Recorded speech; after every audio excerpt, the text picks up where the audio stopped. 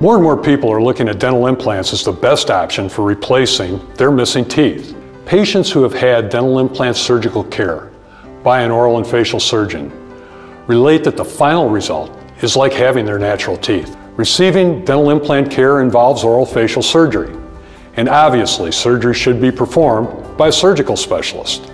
In this case, an oral and facial surgeon who has the training and experience to provide you with the best possible surgical result.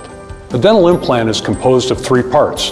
A titanium implant that's put in by the oral and facial surgeon, which actually fuses with the jawbone. Second, the abutment, which fits over the portion of the implant that protrudes from the gum line. And finally, the crown, which is created by a restorative dentist. Oral and facial surgeons are the surgical specialists who are the experts in surgical implant placement. Why would you trust your dental implants to anyone else?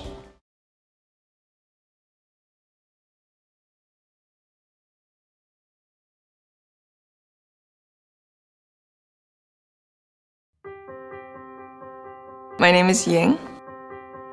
My name is Gordon. My name is Michelle. I went through the typical phases of orthodontia. I had braces for a long time.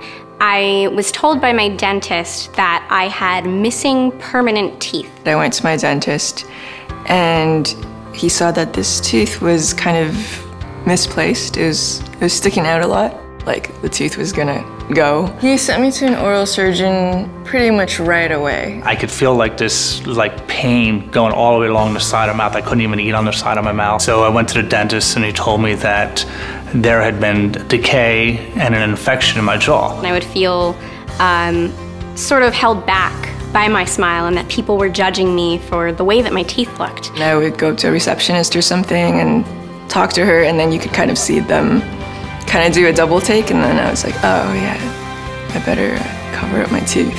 Basically referred to me to a specialist, a maxillofacial specialist, and he said that uh, your jaw is decayed and we have to rebuild the jaw. I was told that this wasn't a job for an orthodontist, that I needed an oral surgeon. I was like a little bit frightened about it, didn't know what was going to happen to me. So he sat me down, he showed me some pictures of the entire process and what's going to happen. Once the jaw was rebuilt, they would drill holes into the new built, newly rebuilt jaw or the newly reformed jaw, and where they can put the implants in.